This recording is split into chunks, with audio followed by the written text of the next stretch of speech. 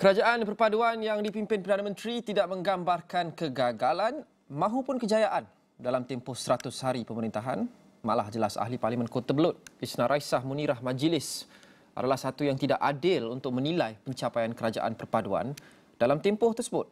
Melangkah ke hadapan, beliau merasakan kerajaan dan barisan kabinet memberi fokus kepada agenda pembangunan negara sekaligus membina semula Malaysia di landasan yang betul pada saya 100 hari ini tidak menggambarkan kegagalan ke kejayaan ke apa. Memang sebab yang macam saya bagi tahu tadi uh, tidak sama dengan yang sebelum ini pilihan-pilihan rakyat sebelum ini kan? Hmm. jadi um, kita tidak boleh nilai prestasi kerajaan itu 100 hari oh ini begini uh, dia slow dan sebagainya. Saya rasa tidak adil lah uh, begitu. Tapi of course sebagai uh, rakyat saya rasa yang kita mau lihat dari segi uh, ekonomi pembangunan ekonomi dan juga ya bina semula negara bina hmm. semula negara kita meletakkan Malaysia di tempat yang betul um, itu itu saya rasa fokus yang kalau saya saya mau kerajaan dan juga kabinet untuk uh, utamakan hmm. uh, ketepikan dahulu soal-soal politik itu kita kita fokus kepada agenda pembangunan negara Selain itu, wakil rakyat daripada parti warisan itu juga mahu kerajaan perpaduan dan Anwar melaksana serta mengotakan usaha